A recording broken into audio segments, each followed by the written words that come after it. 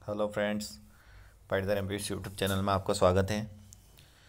दिल्ली सल्तनत काल के जो प्रमुख शासक हुए हैं, किस तरह से कौन कौन से वंश हुए हैं? गुलाम वंश, खिलजी वंश, तुगलक वंश, सैयद वंश और लोधी वंश। सबसे ज़्यादा शासक हुए हैं, गुलाम वंश में हुए हैं। उसके बाद खिलजी वंश, तुगलक वंश तो ये किस तरह से शासक है उनके बारे में चर्चा करेंगे। कुतुबुद्दीन ऐबक, देखिए बहुत सारे फ्रेंड्स, मित्रों को पढ़ने में दिक्कत रही कौन सा शासक किसके बाद आया, कितने काल उसने शासन किया। तो आप यहाँ से कंटिन्यू अच्छे से कंप्लीट कर सकते हैं। देखिए, कुतुबुद्दीन ऐबक 1206 से 1210 ईस्वी तक ये रहा है। आराम शाह 1210 इल्तुतमिश 1210 से 1236 रुकुबुद्दीन फिरोज शाह 1236 इस तरह से जो शासक रहे हैं, देखिए किस तरह से कौन से शासक रहे हैं किन कौन से कार्यकाल रहा है रजिया सुल्तान 1236 से 1240 मोइजुद्दीन बहराम शाह 1240 से 1242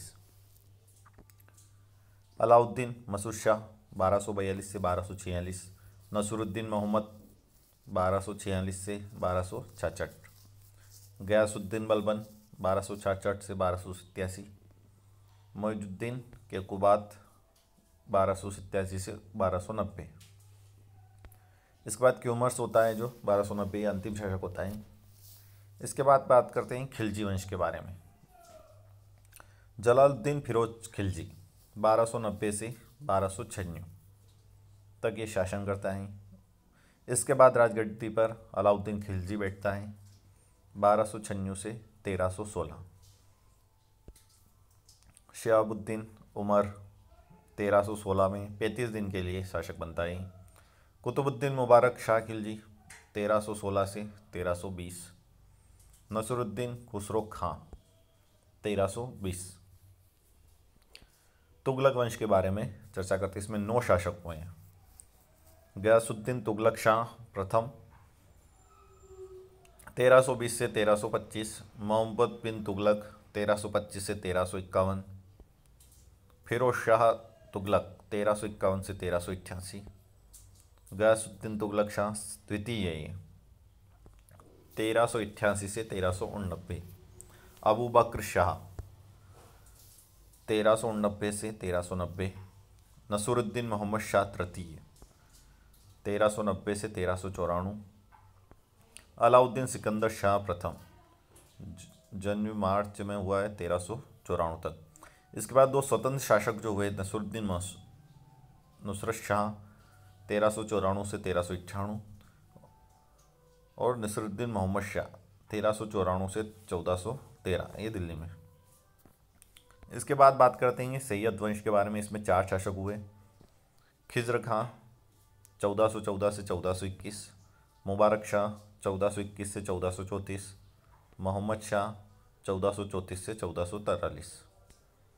अलाउद्दीन आलम शाह, चौदह सौ चौदह ये शासक हुए सैयद वंश में एक मात्र जो महिला शासक रही हैं, वो रही है रजिया सुल्तान। रजिया सुल्तान महिला शासक रही है। देखिए, कुछ फैक्ट हैं। इससे पहले अपन बात कर लेते हैं लोधी वंश के बारे में। इसमें तीन शासक हुए हैं। लोधी वंश में तीन शासक जो हुए, देखिए, बहलोल लोधी, चौदह सौ चौदह सिकंदर लोधी चौदह सौ उनबे से पंद्रह सौ सत्रह और इब्राहिम लोधी पंद्रह सौ सत्रह से पंद्रह सौ छब्बीस। यह लोधी वंश में शासक हुए हैं। देखिए, गुलाम वंश बारह सौ छः से बारह सौ नब्बे, चौरासी सात वर्ष तक। खिलजी वंश बारह सौ नब्बे से तेरह सौ बीस, तीस वर्ष। तुगलक तेरह सौ बीस से चौदह सौ तेरह। चौदह, तेरह नाइन्टी फोर वंश। सैयद वंश चौदह सौ चौदह से चौदह सौ इक्यावन, सैंतीस वर्ष और लोधी वंश चौदह सौ इक्यावन से पंद्रह सौ छब्बीस, पिचहत्तर वर्ष। इस तरह से इनका शासनकाल रहा है। अगर बात करते कि एकमात्र महिला शासक, रजिया सुल्तान, सर्वाधिक वृद्ध सुल्तान, जलाउद्दीन फिरोज खिलजी। सर्वाधिक समय तक शासन रहा, बहलोल लोधी का अड़तीस वर्ष, दिल्ली सल्तनत का अंतिम सुल्तान, इब्राहिम लोधी देखिए, अगर बात करते हैं, बहुत सारे फैक्टर के गुलाम वंश ग्यारह शासक हुए खिलजी वंश पाँच शासक हुए, तुगलक वंश नौ शासक हुए, सैयद वंश चार शासक हुए लोधी वंश तीन शासक हुए। इस तरह से अगर आप याद करेंगे इनको तो आपके फैक्ट्स जल्दी से कंप्लीट होंगे। किस तरह से कौन सा शासक हुआ है, कौन से शासक का कार्यकाल रहा है, और कितने समय उनका कार्यकाल रहा है। इस तरह से अगर आप याद करें तो आपके जल्दी से कंप्लीट हो जाएँगे फैक्ट। और वीडियो को आप कमेंट कीजिए, लाइक कीजिए, सब्सक्राइब कीजिए। जय हिंद, जय भारत, वंदे मातरम।